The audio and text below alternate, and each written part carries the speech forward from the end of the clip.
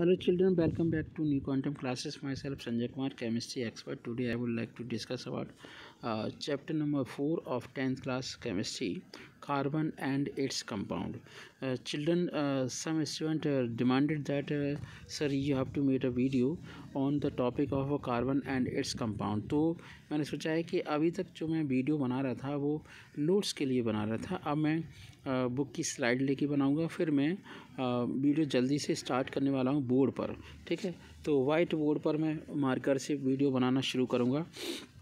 Even from today onward I will start for the making of video of tenth class chemistry twelfth class chemistry eleventh class chemistry and I I T J E for NEET also तो four classes को मैं board पर video बनाने वाला हूँ। कुछ blogs बनाऊँगा मतलब जानकारी दूँगा चिल्ड्रन को।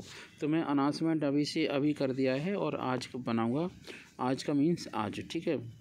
From today onward you will observe me at white board thanks so much uh, for watching my video and also I would like to tell you that if you are new at my video in that way first of all you have to subscribe and uh, also press the bell icon okay and share this video with your friends for more uh, update uh, of the children क्योंकि ज़्यादा ज़्यादा से ज़्यादा children की knowledge बढ़ेगी तो nation का फ़ायदा होगा तो I decided to serve all the children free of cost, ये हमारी जो भी क्लासेस रहेंगी, वो फ्री ऑफ़ कॉस्ट रहेंगी। फ्री फ्री आपको पढ़ाया जाएगा।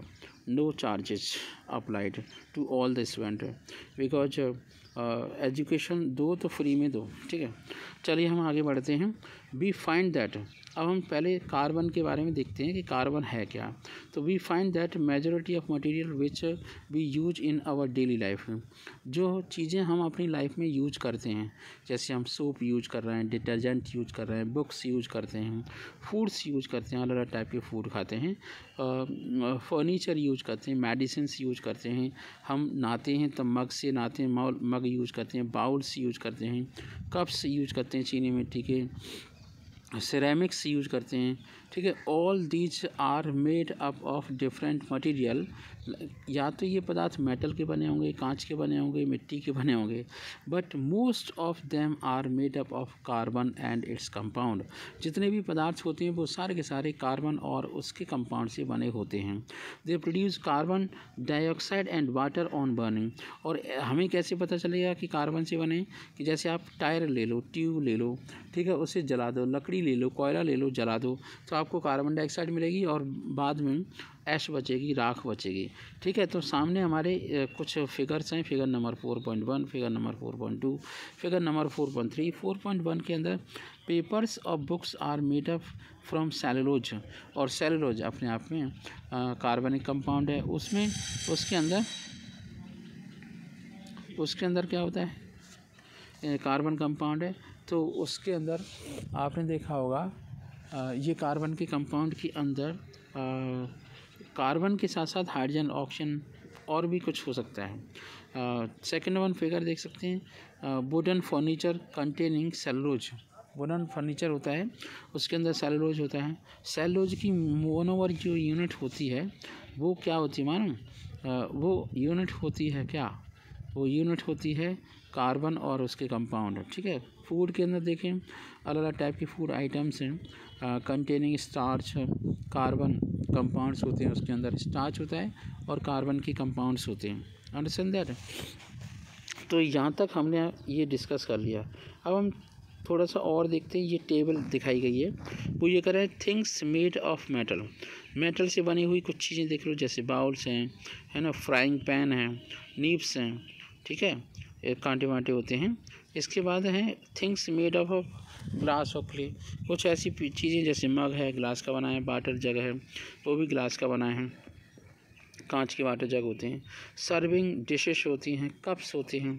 नेक्स्ट है other others made up of carbon जैसे mug plastic furniture wood fire है ना सोप डिटर्जेंट्स शैम्पू बुक्स ये बहुत ज़्यादा कार्बन के बने होते हैं। मतलब सबसे ज़्यादा कार्बन इसी में पाया जाता है बुक्स के अंदर फ़ूड के अंदर मेडिसिन के अंदर। ठीक है नेक्स्ट पेज पर आते हैं।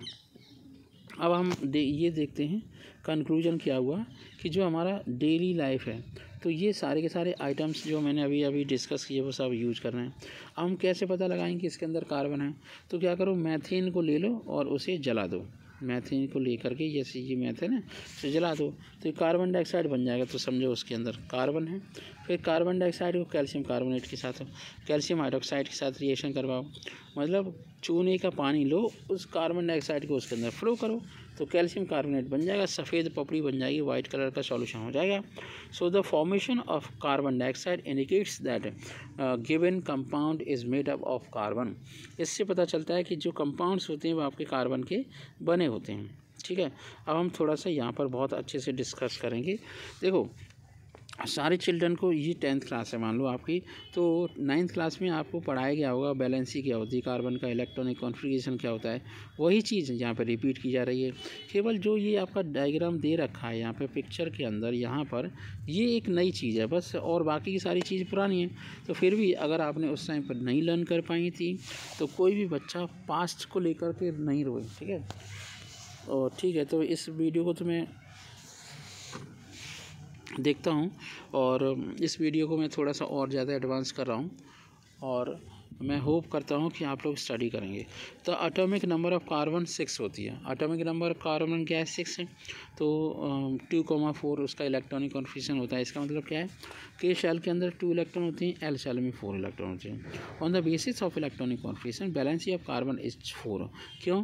क्योंकि सारे एलिमेंट होते हैं, वो inert gas helium neon argon krypton xenon radon उनका इलेक्ट्रॉनिक कॉन्फिग्रेशन अक्वायर करना चाहते हैं। मतलब आउटर मोस्ट ऑर्बिट में एट इलेक्ट्रॉन को अक्वायर करना चाहते हैं। जब तक एट इलेक्ट्रॉन नहीं हो जाए, तब तक बात बनने वाली नहीं है। तो एट इलेक्ट्रॉन की कंप्लीट करने की वजह से कार्बन भी फोर इलेक्ट्रॉन की रिक्वायरमेंट होती है उसे। इसलिए कार्बन एक टेट्टा वैलेंट कंपाउंड है। तो रीज़न ये है कि बैलेंस सेल के अंदर फोर इलेक्ट्रॉन है तो ये ऐसा तो है नहीं कि फोर इलेक्ट्रॉन किसी को दे दे तो ये पॉजिटिव चार्ज बन जाए, या फोर इलेक्ट्रॉन किसी को ले ले तो नेगेटिव चार्ज आ जाए, ऐसा पॉसिबल नहीं तो शेयरिंग हो सकती है। तो फोर इलेक्ट्रॉन की शेयरिंग होने की वजह से कार्बन को टेट्टा वैलेंट बोला जाता है। तो इस टॉपिक में सबसे इम्पोर्टेंट बात ये थी कि कार्बन की वैलेंसी चार होती है, और ये टेट्टा वैलेंस दिखाया गया, ये आपका मीथेन मीथेन है। तो कार्बन की वैलेंसी आपकी फोर कैसे बताई जाती है? मीथेन के आधार पर। तो मान लो सी एच फोर था। यहाँ पर ज़्यादा से दिख नहीं रहा है। सेंटर में सी बना लो। यहाँ पर हाइड्रोजन, यहाँ पर हाइड्रोजन। ठीक है? यहाँ पर हाइड्रोजन और ये आपका हाइड्रोजन है। तो फोर हाइड्रोजन दिख रहे हैं इस मॉलिक्यूल के अंदर। तो ये सारे के सारे पॉइंट हैं जो आपके हाइड्रोजन हैं। ठीक है? ये आपका tetravalent carbon in case of methane दिखाया गया है। ठीक है? कार्बोनेट कंपाउंड है। हम और भी डिस्कस करेंगे। अब हम इसके बाद नेक्स्ट वीडियो में कोवेलेंट कोवेलेंट बॉन्ड की बात करेंगे। Single covalent bond double covalent bond triple covalent bond की बात करेंगे। ठीक है? तो मिलते हैं नेक्स्ट वीडियो में। तब तक के लिए thank you so much have a nice day thanks for watching and इस वीडियो को लाइक ज़रूर करें। और इस अगर चैनल को आपने सब्सक्राइब नहीं किया तो सब्सक्राइब करें। Or press the bell icon for more updates thanks so much. Have a nice day.